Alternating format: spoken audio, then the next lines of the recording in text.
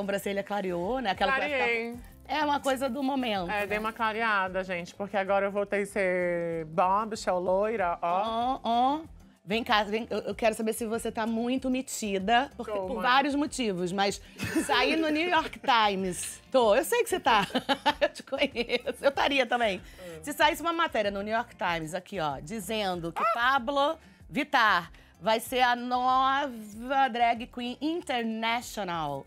E é brasileira, no caso, eu já acho que é, né? Mas em- temos outras drags famosíssimas também. Como é que você se sentiu com essa matéria? Ai, mãezinha, eu fiquei muito feliz. Mais feliz ainda porque é do Brasil, é do Nordeste, é daqui de casa.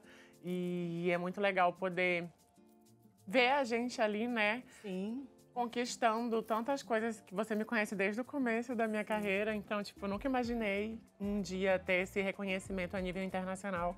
Então, pra mim, é, um, é um grande, uma grande emoção que eu recebi. Eu imagino. Outro motivo pra você ficar metida é. Tô falando, gente, a lista de mitidez para uma pessoa só. Você cantou com a Madonna, amor. Aí, zero game, como é que é?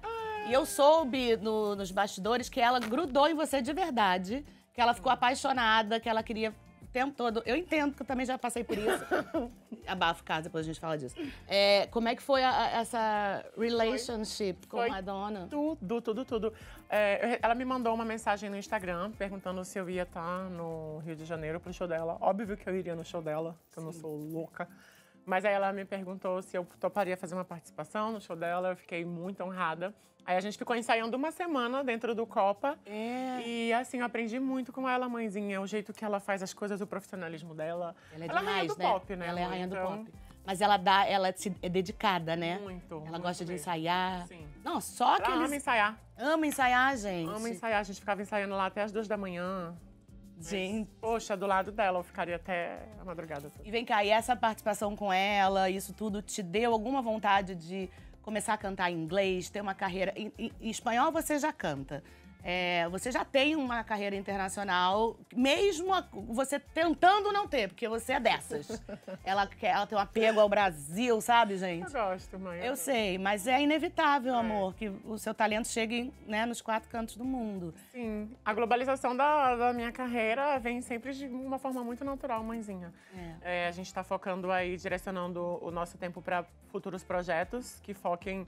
é, Meu Deus, que é isso? Uai, onde você tá? É um trio. Quase, a bunda dela quase veio aqui na minha Oh, cara. ai, ela nem é gosta. Quem é essa? Você mesma. Ai, mãe, caso. sou eu. Linda essa E roupa. né? aí. E é uma, uma forma muito natural, mas aí a gente tá focando em umas coisas mais pro inglês, pro espanhol, pro ano que vem. Olha, gente, ela é internacional, ela.